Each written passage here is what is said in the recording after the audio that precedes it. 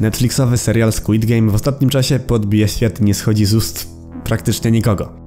W internecie, czytaj na samym YouTubie pojawia się co i róż mnóstwo materiałów na ten temat, w których ludzie nie tylko streszczają fabułę całości, ale i pokazują rozmaite teorie, a także easter eggi. Cześć, jestem Mondary, witam was bardzo serdecznie w kolejnym materiale, w którym rzucimy okiem na serial Squid Game, ponieważ w ostatniej ankiecie stwierdziliście, że jak najbardziej jesteście za. Dzisiejszym filmie przedstawię wam kilka rzeczy, które mogliście ewentualnie przegapić podczas oglądania Netflixowej produkcji. Przedstawię wam ponadto ciekawe easter eggi i nawiązania, a także ciekawe rzeczy, a raczej jedną ciekawą rzecz, która miejsce miała tuż po premierze serialu, także myślę, że dzisiejszy odcinek będzie całkiem ciekawy. Jeszcze nim zaczniemy ten odcinek, proszę cię o zostawienie pod nim kciuka w górę, no cóż, próg 1000? Cóż, miejmy nadzieję, że nam się uda i proszę cię także o zostawienie subskrypcji na tym kanale. Tymczasem moi drodzy już nie mam zamiaru przedłużać, proszę rozsiądźcie się wygodnie i dajcie się ponieść kilku rzeczom, które na 100% przegapiliście oglądając Squid Game.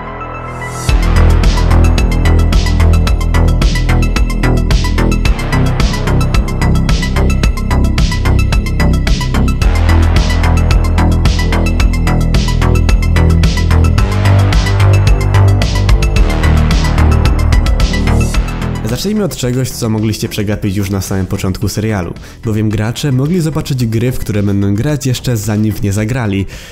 Co? Ponieważ sprawy potoczyły się w takim kierunku, iż gracze pomiędzy konkurencjami przenoszeni byli do pewnego pomieszczenia wypełnionego piętrowymi łóżkami.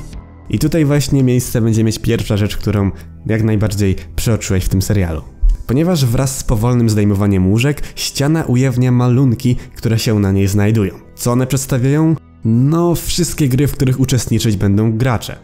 Tak, znajdzie się tu m.in. słynne czerwone światło, zielone światło, przeciąganie liny, szklany most Stepping Stone, gra ze znanymi miodowymi ciastkami, czy nawet obiad oraz tytułowe Squid Game.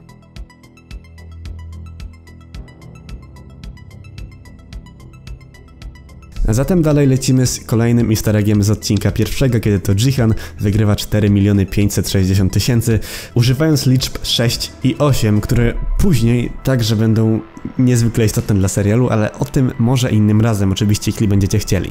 Tak jest, liczba 456, 456, 456. Tak, to właśnie tym numerem Jihan zostaje oznaczony już w trakcie pogrywania w samą grę. Czy coś. A skoro jesteśmy już przy Red Light, Green Light, jeżeli ta lalka nie przeraziła Cię wystarczająco bardzo podczas oglądania serialu, to spokojnie możesz odwiedzić ją w realu i opowiedzieć, co tam się u Ciebie ostatnio wydarzyło. Bowiem znajduje się ona w Muzeum Powozów Konnych Mahaland. A skoro mowa już o przerażaniu i niszczeniu czegokolwiek, słynny numer z serialu istnieje naprawdę i osoba będąca jego właścicielem od czasu jego premiery otrzymała ponad 4000 telefonów od nieznajomych. What the fuck? Idąc dalej, kreskówkowe, kolorowe schody, którymi gracze zmierzają na każdą kolejną grę, są w rzeczywistości wzorowane na tych pochodzących z obrazów autorstwa MC Eschera. Jego prace natomiast miały prezentować nieskończone i zwariowane schody, które prowadziły donikąd. Wędrówka donikąd, zupełnie jak w serialu.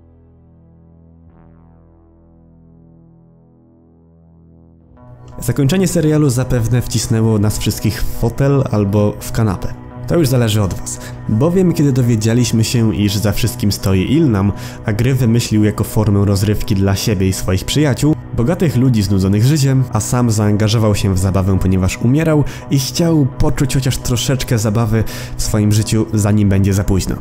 To osobiście mnie wywaliło z kapci, dziadka też.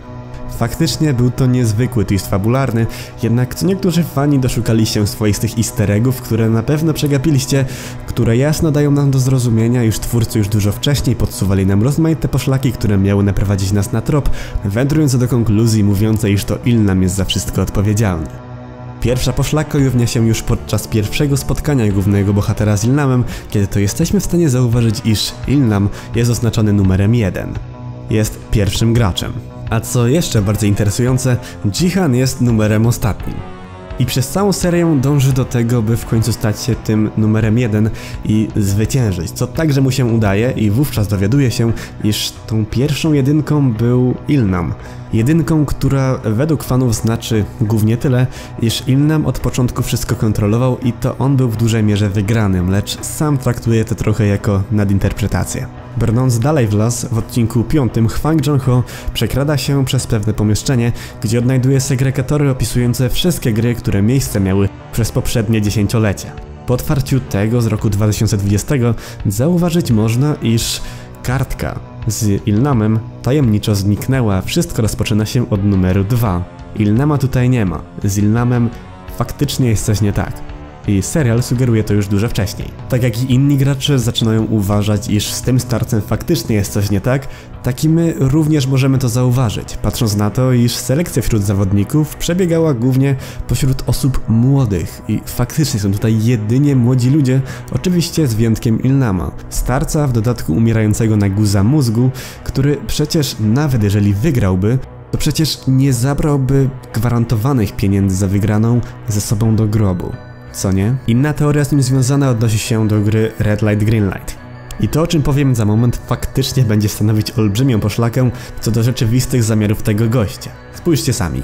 Wszyscy, absolutnie wszyscy są okropnie przerażeni o swoje życie, natomiast Ilnam zwyczajnie wesoło sunie do przodu. Zupełnie nie boi się niczego, za każdym razem, kiedy jest już narażony na śmierć, wie, że musi się zatrzymać, zupełnie jakby to on sam sobie wszystko zaplanował i dokładnie wiedział, co ma zrobić, żeby przeżyć. Ponadto, co niektórzy, ci bardziej spostrzegawczy, doszukali się tego, iż właśnie w takim widoku, właśnie z oczu tej przerażającej lalki, najbardziej wyszczególnymi elementami są wszystkie osoby wokół Ilnama poza nim samym. Wszyscy otoczeni są taką specyficzną, zieloną obwódką, z wyjątkiem jego. Zupełnie jakby robot dokładnie wiedział, kogo ma się nie tykać. Hm. Zaraz potem gracze mają możliwość oddania głosu w sprawie tego, czy zostają tutaj na dłużej, czy też wolą szybko zabrać dupę w troki, wiedząc na co się piszą. W skrócie oznacza to tylko tyle, iż głosujesz za tym, by zakończyć grę, czy żeby trwała ona dalej. Ostatni głos, co ciekawe, oddaje Ilnam, który decyduje, by grę zakończyć i co niektórzy twierdzą, iż pokazuje to jego potęgę i świadczy o jego niezwykłej mocy, objawiającej się we wpływach na wszystko co wokół niego. Następnie interesująco będzie przejść do gry Free Tango of War, gdzie to drużyna, w której znajduje się Ilnam jest już z góry skazana na porażkę.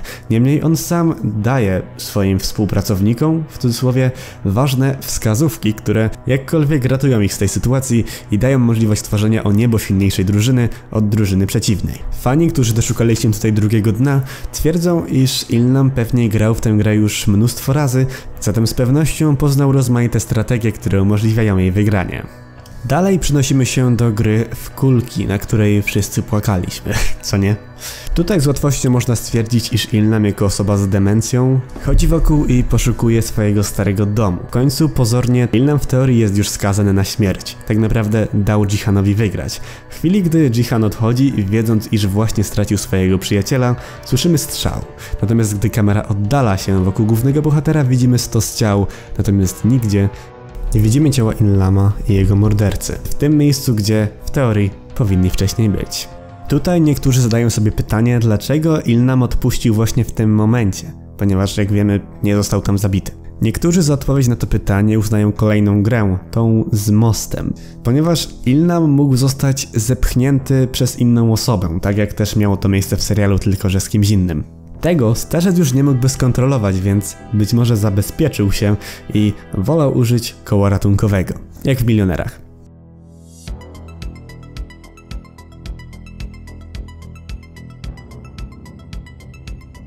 No i takim oto ciekawym akcentem kończymy dzisiejszy odcinek. Mam nadzieję, że się wam on spodobał i że sam serial Squid Game także wam się spodobał, a jeżeli jeszcze go nie widzieliście, no to cóż, bardzo warto go obejrzeć, bo to naprawdę bardzo, bardzo ciekawa i fajna rzecz. Polecam wszystkim. Oczywiście chciałbym tutaj jeszcze raz przypomnieć, iż materiał ten inspirowany jest filmami autorstwa Heavy Spoilers, do których link znajduje się w opisie.